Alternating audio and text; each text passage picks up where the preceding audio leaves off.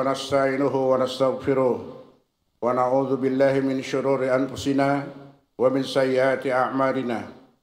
من يهده الله فلا مضل له ومن يضلله فلا هادي له.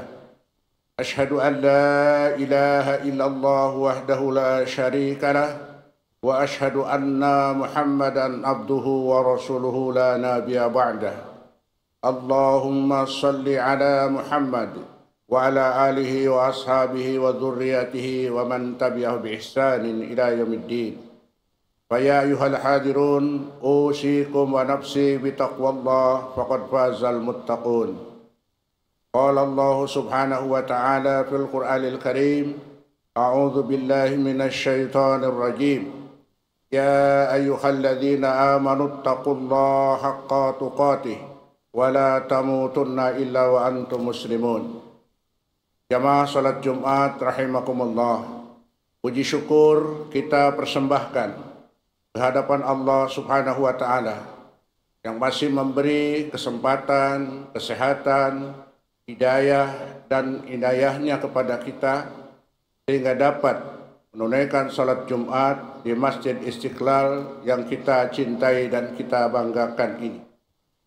Salawat serta salam semoga Allah Subhanahu wa taala limpahkan kepada Nabi Muhammad sallallahu alaihi wasallam, pada keluarganya, para sahabatnya, para tabi'in, tabi'ut tabi'in dan juga kepada pengikutnya yang setia insya Allah hingga akhir zaman.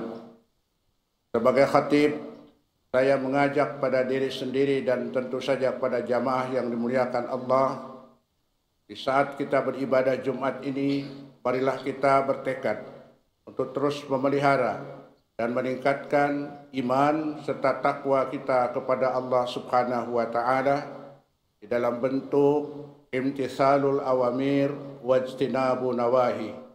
Kita berusaha menjalankan perintah Allah Subhanahu wa taala dan juga berusaha sekuat mungkin menjauhi apa yang dilarang oleh Allah Subhanahu wa taala. Jamaah salat Jumat rahimakumullah. Tema khutbah hari ini adalah urgensi pembangunan mental spiritual Islami abdi negara.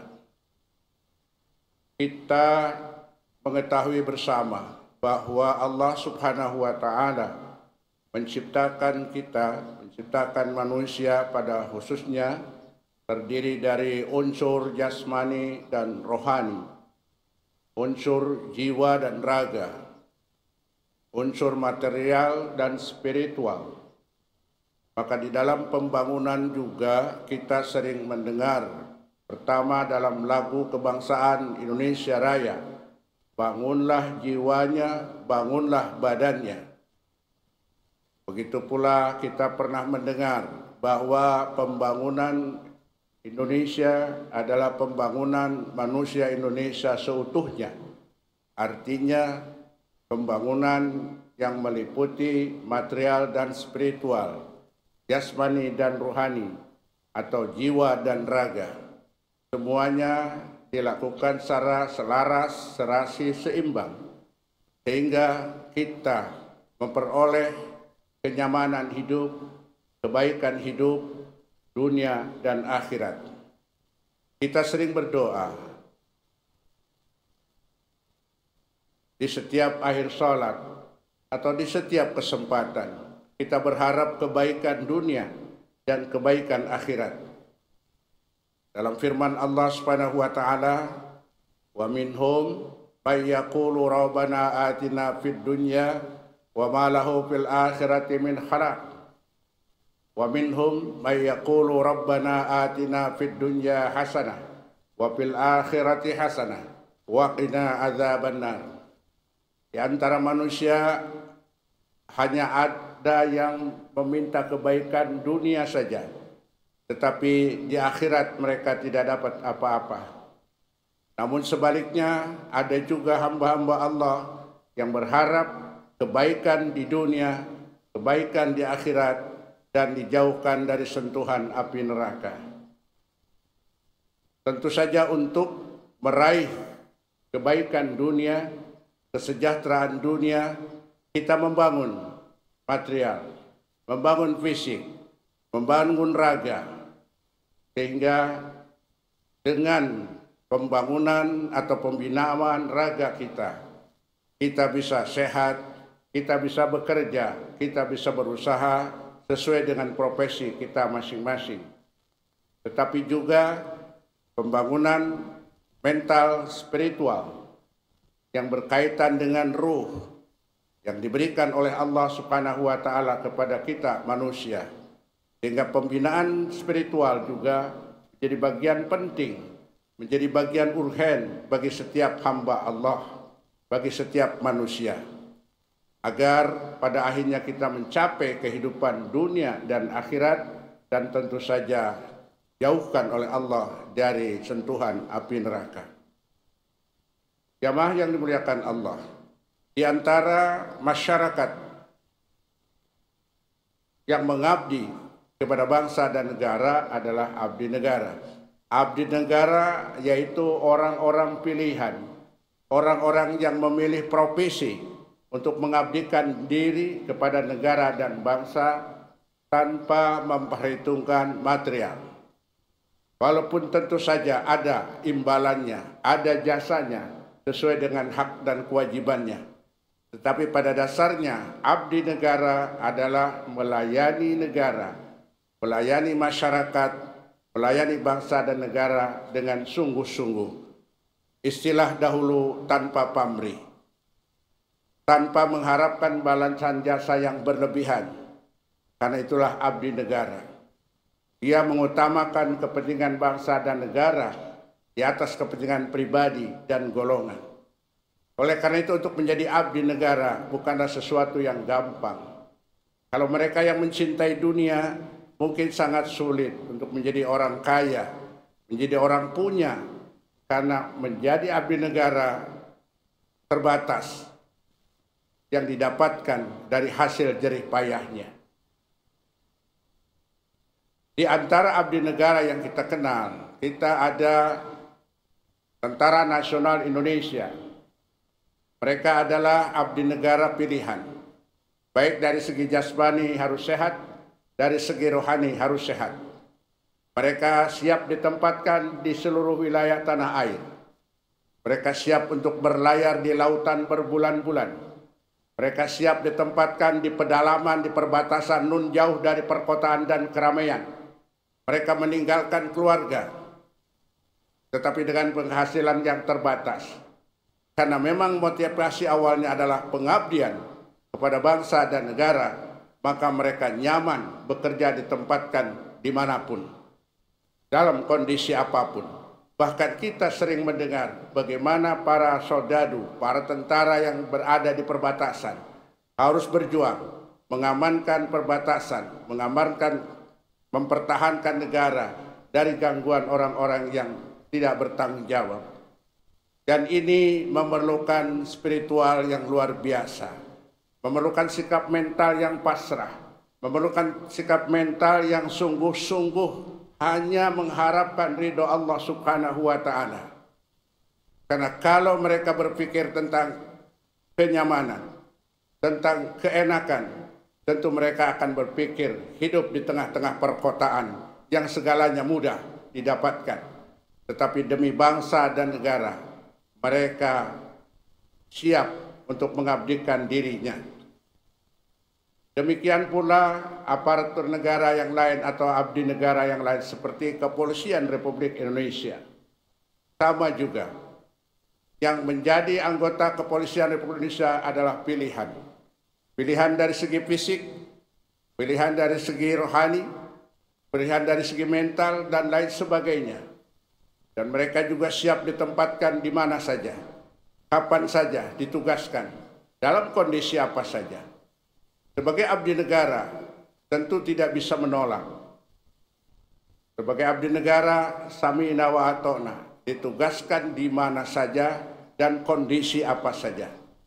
Kalau tidak diniatkan sebagai abdi negara atau hanya berharap tentang dunia dan balas jasa, ini sangatlah sulit. Pengalaman membuktikan Hatib pernah bertugas sebagai tentara berada di perbatasan berada di Papua nun jauh di sana lebih dalam lagi ke perbatasan. Tapi kita siap, kita rela demi negara bangsa, demi keutuhan negara kesatuan Republik Indonesia. Tidak berpikir tentang enaknya hidup berada di ibu kota atau di tengah-tengah keramaian kota. Itulah abdi negara. Ada juga aparatur sipil negara atau sekarang ada pekerja pemerintah dengan perjanjian kerja atau PPPK sama juga mereka adalah aparatur negara atau abdi negara yang harus siap mental untuk ditempatkan di mana saja dan tugas apa saja. Kalau pengabdiannya ini benar-benar dilaksanakan dengan penuh keikhlasan, penuh kerelaan, dan mengharapkan ridho Allah Subhanahu wa taala, maka dia akan bisa melaksanakan tugas dengan baik, dengan selamat, tidak kurang suatu apa pun. Karena Allah Subhanahu wa taala akan melindungi mereka. Jamaah rahimakumullah. Oleh karena itu, pembinaan mental spiritual atau pembangunan mental spiritual tidak saja dibutuhkan oleh masyarakat biasa, terlebih-lebih lagi oleh abdi negara.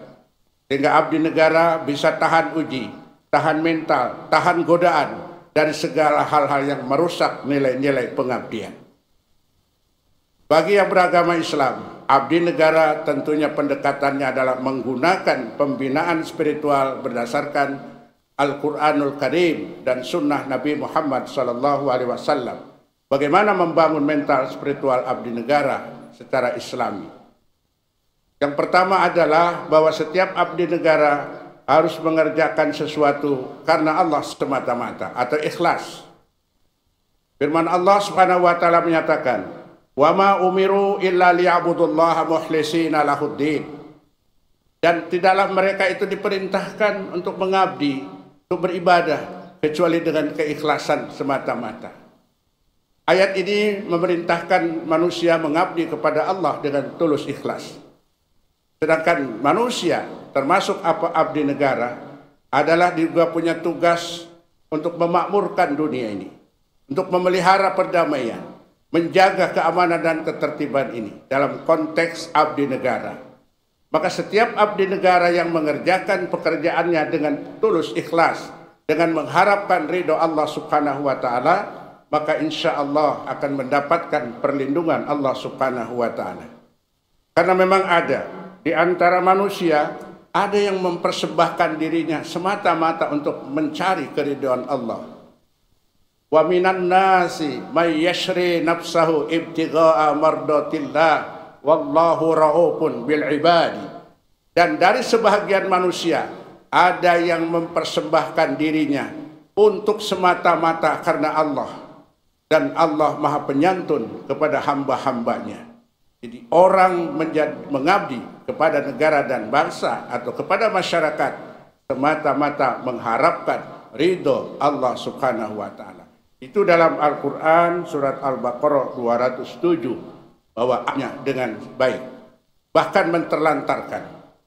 Hadis ini pada awalnya adalah mengingatkan para suami untuk bertanggung jawab kepada keluarganya, kepada istri dan anak-anaknya tetapi dalam konteks abdi negara, maka kita semua punya tanggung jawab.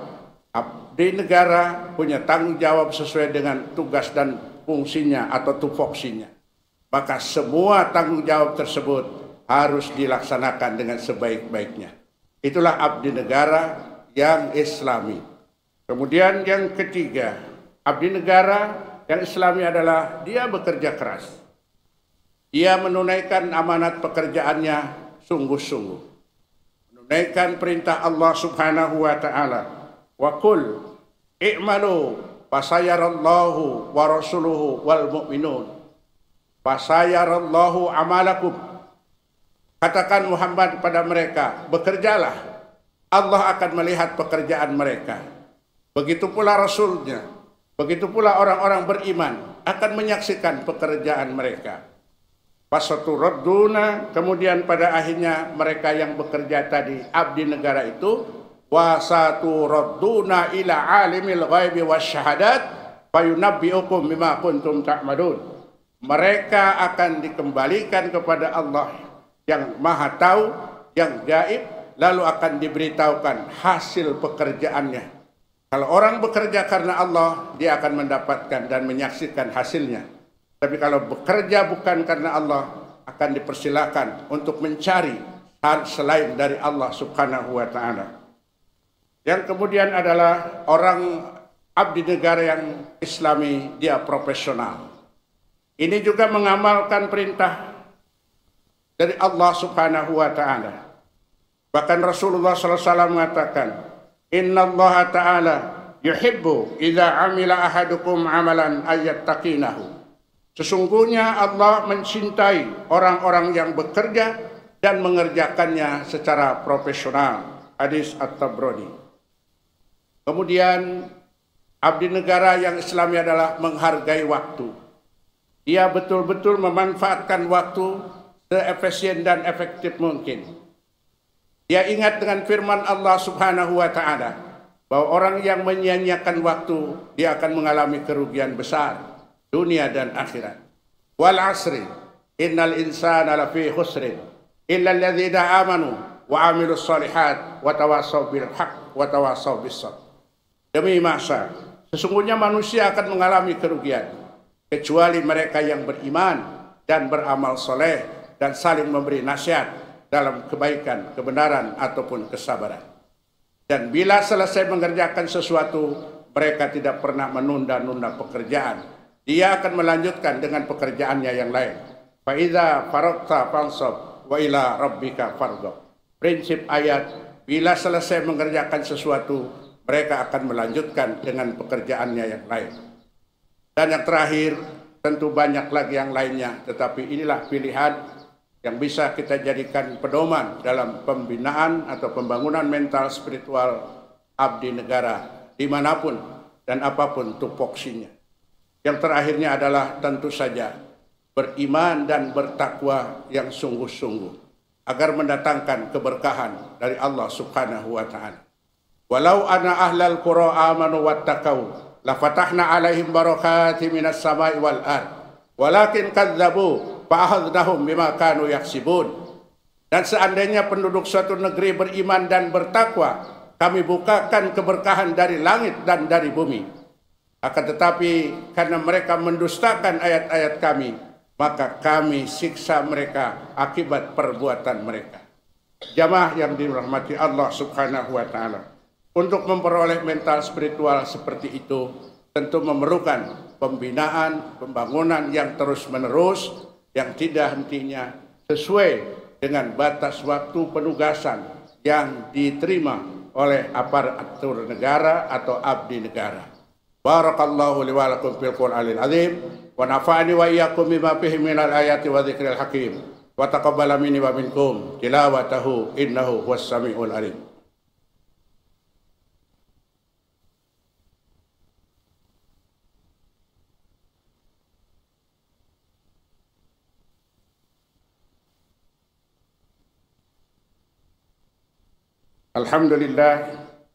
الحمد لله حمدا كثيرا كما أمر وأشهد أن لا إله إلا الله وحده لا شريك له إرغاما لمن جهد به وكفر وأشهد أن محمدا عبده ورسوله أما بعد فيا أيها الهاجرون أوصيكم ونفسي بتقوى الله فقد فاز المتقون يا أيها الذين آمنوا اتقوا الله حق تقاته ولا تموتن إلا وأنتم مسلمون قال الله سبحانه وتعالى إن الله وملائكته يصلون على النبي. يا أيها الذين آمنوا صلوا عليه وسلموا تسليما. اللهم صل على محمد وعلى آل محمد كما صليت على إبراهيم وعلى آل إبراهيم. وبارك على محمد وعلى آل محمد كما باركت على إبراهيم وعلى آل إبراهيم في العالمين إنك حميد مجيد. اللهم اغفر للمؤمنين والمؤمنات والمسلمين والمسلمات الأحياء منهم والأموات innaka sami'un qaribun mujibud da'wat wa yaqadi al hajat. Rabbana ighfir lana wa li ikhwanina alladhina sabaquna bil iman wa la taj'al fi qulubina ghillan lil ladzina amanu. Rabbana innaka ra'ufur rahim. Rabbana zalamna anfusana wa illam taghfir lana wa tarhamna lanakunanna minal khasirin. Rabbana atina fid dunya hasanah wa fil akhirati hasanah wa qina adzabannar وأدخلنا الجنة مع الأبرار. يا عزيز يا غفار يا رب العالمين. وصلى الله على سيدنا محمد صلى الله عليه وسلم. بفضل سبحان ربك رب العزة عما يصفون. سلام على المرسلين. والحمد لله رب العالمين. عباد الله إن الله يأمر بالعدل والإحسان وإيتاء ذي القربى وينهى عن الفحشاء والمنكر والبغي يعظكم لعلكم تذكرون. ولا ذكر الله أكبر. أقول قولي هذا وأستغفر الله لي ولكم